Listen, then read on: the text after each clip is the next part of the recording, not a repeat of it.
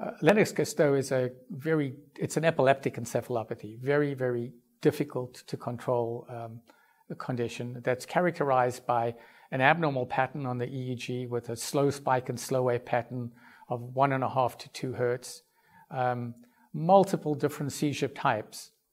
But the one important seizure type that you need for the diagnosis are the presence of tonic seizures. And finally, uh, cognitive regression. So those are the three core criteria for Lennox-Gastaut syndrome. But all in all, it's an epileptic encephalopathy that's intractable and difficult to control. Fulfilling criteria for Lennox-Gastaut syndrome uh, is Lennox-Gastaut syndrome is frequently used as a population of patients um, for the newer anti-epileptic drugs to uh, to test their effectiveness. And the reason is because if we had a single drug that was effective for Lennox-Gastaut, we wouldn't be able to do any of these studies.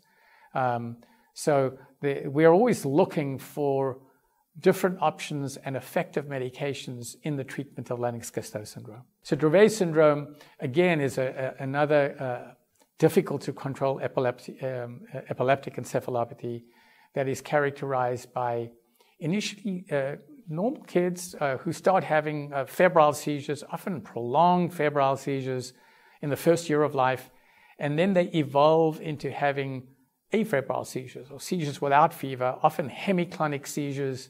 Um, and at that point, they also start having uh, cognitive regression, ataxia, and about three quarters of them um, are found to have a mutation in the SCN1A gene.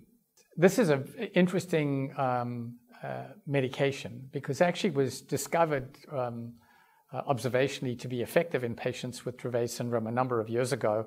And more recently, there have been controlled studies uh, demonstrating uh, its effectiveness in this population, actually, com- and, and, now randomized controlled studies comparing it to placebo um, with a, a, very gratifying benefit using the 0.8 milligram uh, dose as compared to placebo. I think uh, 63% uh, greater effectiveness in the 0.8 milligram dose as compared to placebo. So it works.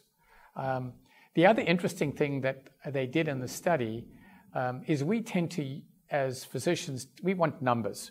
We want to know that there's a, a median percentage reduction in seizures or a responder rate that gives us an idea of how well the medication works. But what they also did in the study is look at uh, clinical global improvement. In other words, they asked caregivers or parents to, to give us an impression as to whether they thought the drug really worked, how effective the drug was. And they used a scale to look at it. Um, and it's interesting that the parents' perception of improvement was present once there was more than, I think, a 44% reduction in, in seizures. So obviously, in, in this study, the drug had a 63% reduction as compared to placebo. So it was way above that. And in that group of patients, there was a significant or really meaningful improvement in quality of life. So it's really a balance between parents' perception or quality of life and the numbers that we're looking at. And this study did look at both and did dem- demonstrate that there was a gratifying improvement uh, with this medication, especially at that 0.8 milligram dose. The syndrome is interesting because it's, it's mostly related to this gene mutation. And I think one of the important things that we learned when the syndrome, when the gene mutation was first discovered, was not what drugs to use, but specifically what drugs not to use.